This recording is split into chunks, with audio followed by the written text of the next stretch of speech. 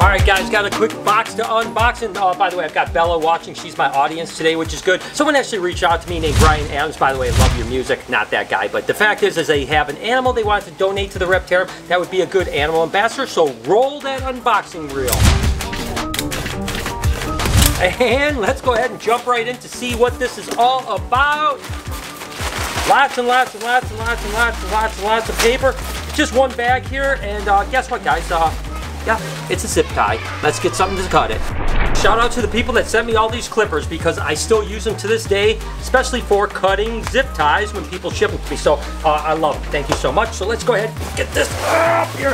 Oh, this is a heavy one too. Uh, put that down over there and let's see what we have. This is going to be exciting, and apparently this is supposed to be dog tame, so eventually after we get it out of quarantine, this should be a really good Reptarium animal ambassador for the future, and it's one of my favorite boa morphs of all time. That's right, this is a motley boa. Take a look at that monkey right there. I tell you what, gosh, she's hanging onto that pillow pretty good. I tell you what, motley boas are an incomplete dominant boa that has this really dark patterning and of course has, I don't want to get too close to Bella, if you know what I mean, and of course it typically has a little bit of connecting patterning down like this. Absolutely wonderful. Again, supposed to be super tame. Look at those dark eyes. That's always something that you see with the motley boa. So we're going to go ahead and get this thing in quarantine for the next, you know, 60 days or so, just to make sure everything is healthy and happy. And then, like I said, this can actually get worked into our educational program and on display here at the Reptarium. So thank you so much. I appreciate it. Absolutely beautiful. And by the way, welcome to the vlog, Reptile Army. I hope the start of your day is absolutely incredible. And speaking of Reptile Army, you guys need to get on the front lines and join the movement. That's right, the movement to really get people to love reptiles. And you need to be our soldiers at reptilearmy.com. So go to reptilearmy.com, wear your swag, make sure that you absolutely are committed to it, getting people to absolutely love it. Again, 10% of proceeds go to USARK, and the rest of the proceeds go to educational things. So definitely go to reptilearmy.com and get on the front lines and join us in the movement. You know what time it is? Egg time! And that's right, it is egg time. And this is another one of those coral snows. I don't know how pink this one is, but those really pink snow corns. We have such a nice group of these guys this year, so let's see what this one is. Yeah, very beautiful female, a bunch of good eggs. So I'm gonna just kind of take the eggs out before, because if I start to take the female out, she's gonna kind of roll the eggs around. Looks like she's got a couple eggs over here as well.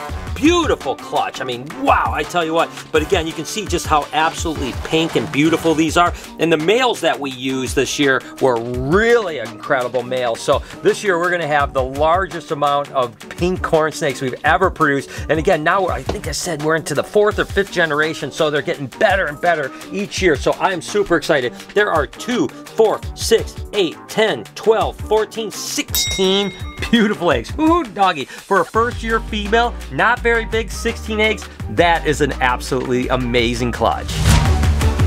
Every now and then I just have to show my sweetheart Viridae because you guys know I love her so much. Obviously Ivy steals the show because she's so much bigger, but Viridae is still such an amazing animal. And the truth is most people don't come to the Reptarium and handle Ivy because she's so big, but everyone can come out and actually handle Viridae, which is pretty cool. Again, she's starting to get some size to her, which is pretty cool. And I know that in the 3.0, she's gonna have a big enclosure with a big water feature, and I'm gonna see this girl get to 15 or 16 foot in my lifetime, which is gonna be absolutely incredible. This one one is a banger of a clutch right here. It's so cool to be deep in the colubrid season right now, just with all the eggs coming, and look at that animal right there. It looks like a really super small clutch though, but this is a high white reverse Okeetee corn snake what a ripper that is. I mean, that female is amazing. She is a first-time girl. She is small. I'll be honest with you, some of our other girls that have been similar size have had 15 or 16 eggs. It looks like a very small clutch right here. So I'm gonna go ahead and just take these guys out. Does look like we've got one little slugger here,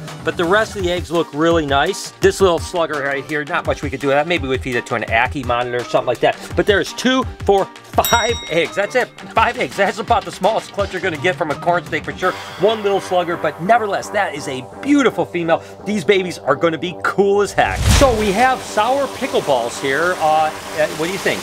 I don't like pickles, so hopefully You don't like pickles? Oh, well then this is gonna be perfect for you. Yeah. So, uh, what, you guys doing it together? I don't want to do it. Uh, oh, just you're just doing it. You're just you're Well, doing it's it. gonna be Anthony. I'll, All right. Do you have to do more than one at a no, time? you have to do all four. You have to do all four. All You right. stumble in. All right, Mike. You Let's do stumble in. this. They're hard candy. Come on, Mike. Stop. they're not stop hard crying. They're soft. less crying, more action. You have to do all four? Yeah, do all four. Oh, see, look, look at this. Ooh, they smell like just going right in. formaldehyde. He's just going right Anthony's in. going for it. No, you gotta get- get him go, in. Go, go, go. Oh, Anthony's. Oh, Hurry up. See, we did this and it was a great old time. But, Mike I will be likes honest. it. Mike likes it. so Ryan couldn't, Ryan couldn't swallow them. I did. Look at Mike I'm isn't doing too surprised you're like holding together as much. I was choking. you gotta open your mouth for the camera. Tell me what it. Oh man, you guys' teeth are just oh, gonna be green for a week. It's pretty rough, right? You would expect You it can to spit be. it out. I think Anthony's tapping. Don't swallow it. Don't, don't, don't, swallow, it, don't swallow it. All right, go. Yep. You did. Look, look. Don't. So you, you swallowed it, huh? They're so bad. See your mouth. Let's see your mouth. oh my gosh. I need the water. Oh, too much. Oh, Okay. Bravo, bravo to Mike. You don't get water for 10 minutes. They tell you. 10 minutes, you gotta. do I get paid? They're pretty rough. Okay. All right, good stuff, good stuff. It's been over a year that I've been bringing you guys this amazing opportunity, and I've been a fan of this company, of course, Raycon. I've been working with these guys forever and using these guys forever. This particular pair that I have in my ears right now, I've had for almost a year and a half, and I use them every single day. They're an amazing brand that's co-founded by Ray J. The everyday E25s are absolutely incredibly sounding. I mean, Raycon earbuds start at about half the price of other premium wireless earbud brands and sound just as amazing as other top audio brands. I mean, how can you complain about that? And every single person, I mean, hundreds of people I know have bought these through this offer, and every single one of them have thanked me. You know, summer's coming, right? Spring is here. The weather is great. I love being out in nature. I'm going to be walking around, listening to my favorite podcast, music, stuff like that with these guys, and with their noise isolation, it just makes it absolutely incredible. You can get out of things and listen, disconnect from wires. I mean, nobody wants wires on their earbuds these days. The other great things about the Everyday E25s is that they last about six hours on one charge. And in this little carrying case right here, that is super, super cool, you can actually charge up to four times. So you plug this in and then you just throw these in here four times. That's 24 plus hours you're gonna get without having to worry about any plugging in. I'm telling, and I have a feeling it's longer than that because I've, I've went a month sometimes without charging these guys and I listen to them every single day. Listen, Snoop Dogg, Mike Tyson, guys I absolutely love. They are fans of Raycons and I know you will be too. And now they actually come in a bunch of different colors and patterns. They have different size inserts for your ears so that they fit really comfortably. Trust me guys, you will love this. And right now, not only are they great price, but you can save 15%. Click the link in the description or go to buyraycon.com slash Brian B to get your 15% off your order. That's right buyraycon.com slash Brian B and you could save 15% off already really good price. And I tell you what guys, I promise you, you will not regret this. Go ahead, get yourself some everyday E25s. You are gonna thank me for it. I promise you that. Guess where I'm at? In the dungeon, the mighty dungeon, where my body Well, guys, the clutch that I am so, so, so excited about happens to be this girl right here. And this is actually the Lori Leopard ball python that has actually produced the Super Lori Leopards, right? But that's not what laid today. She's gonna lay within the next day or two. What did lay today is this girl here, which is another Lori ball python that's bred to another Lori combo that I'm very excited about. So there could be some Super Lori combos in this clutch, and it looks like Mama's a little bit upset at me right now. I haven't even touched her, and she's always like, "You want to come get these eggs? I'm going, I'm going to fight you." You know what I mean? So, anyways, I'm going to go and let her be alone for a second, set up some egg boxes, come back and pull this Lori clutch. I'm telling you what, the Lori project is blowing up right now, and this has got some potential for some cool babies.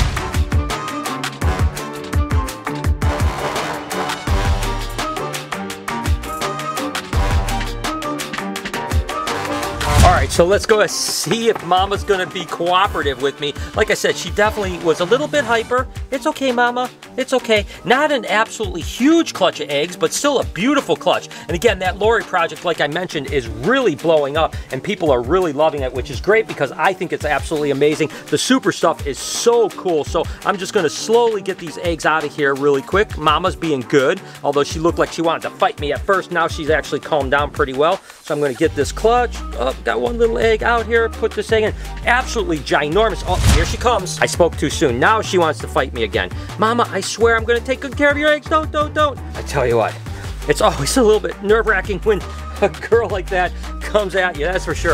Oh, see? She definitely is trying to come at me. So, all right, I'm gonna go ahead get her cleaned up. Gonna get her some fresh water, get her feeding in the next couple days. We have two, four, six eggs. Now, when it comes to Lori to Lori, whether it's combos or not, you're looking at one in four odds for a super. So hopefully we get one or two supers in this clutch and then maybe some combos or some stuff. I'm telling you what, we're gonna have some cool Lori stuff this year and next year is gonna be absolutely ridiculous. That Lori project is gonna blow people's minds as we're actually getting it into different things, man. I am super excited about the future. So you guys know that my dad surprised me with two Argus monitors and it took us a while to name them because I wanted to make sure that it was perfect. I was reading through some comments and somebody dropped the perfect pair of names for them. Do you know what they are? Uh, I have no idea. Cheech and Chong. So that's Cheech and this is Chong? yeah, the big Oh. one's Chong, the little one's Cheech. You gotta remember that. That's a good one. I tell you what, I grew up on Cheech and Chong movies, so Yeah, that's that's awesome. So good good stuff. So Cheech, Chong, whoever did that, you did a great job. That's so much. awesome. So now it's just taming these suckers out, because man, it. they run around like crazy. I know. Roll the clip.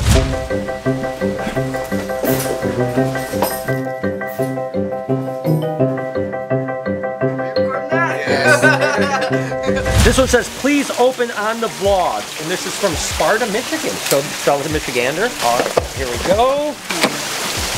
What do you think? What's your guesses? you have no guesses? No.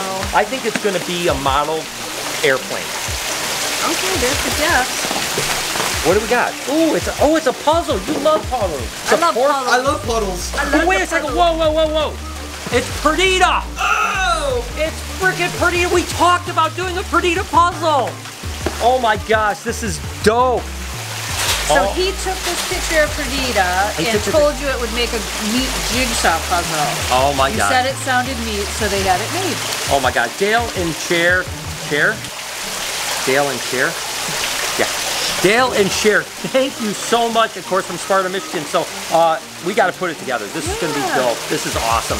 Uh, I would say roll a time lapse, and we're not doing it today, but when we do it, we'll roll a time lapse. And obviously, this is the way we're going to keep this boa constrictor just for the quarantine period. I mean, just kind of really aesthetically as mild as we can, just because we want to make sure that we can keep a really close eye on everything. We want to first preventatively treat for mites. Secondly, we want to just keep an eye on everything, its stool, everything like that over its quarantine period. And by the way, you guys may like to know, I decided to name this guy Julia Squeezer. That's right, Julia Squeezer. And by the way, uh, speaking of Reptile Army earlier, uh, we are going to actually have some merch with Julia Squeezer in it because I just think that would be really cool. So definitely go to reptilearmy.com and uh, keep an eye for that. That should be pretty awesome. This girl here is actually a pinstripe ball python. Looks like she's got a really nice clutch eggs. I do see one little slugger and a little boob egg in there, by the way. And uh, she was actually bred to this black pewter cypress. Again, this is the combo that I get all those really purple snakes that basically don't have any pattern. Absolutely incredible. So let's go ahead see how many eggs she has after we set up an egg box. And let's go ahead and see how many eggs Mama has. Like I said, looks like a really nice, beautiful clutch. She's definitely not happy with me right now. Just slowly get up. Look at that. It looks like really she just got done laying. Because if you could see this egg right here, see you can actually see the embryo almost right through it, networked and vein. That only happens right after. I mean, within 20, 30 minutes, it will harden up and look like these other eggs. So this is as fresh of a clutch as you'll absolutely get. So I'm gonna go ahead and put that one right down there and then slowly get the rest of these eggs out. And they should come out pretty easy. And I gotta be careful about mom over here because she's coming for me. There's no doubt about that. She's like, don't you take those eggs. Come on, mom, okay? Oh gosh, she's gonna bite me. Oh, don't. I just gotta get him, gotta get him, gotta get him, gotta get him, gotta get him. And get this little boob egg here. Look at that boob egg right there. I mean, that is definitely perfect example of a boob egg. There's no doubt about that. And I'm just gonna slowly try to get these other eggs out of here. I might have to take a couple off anyway, so I think I'm gonna do it that way, just so that it actually doesn't roll around on me. And I might be able to get the rest of them now. Get them up ah, into the egg box like this. That's so many eggs, it barely fits in the egg box. Look at this. Ooh, doggy, I tell you what. All right, I'm going to pull this one last egg off here because, of course, I can't shut the lid like that.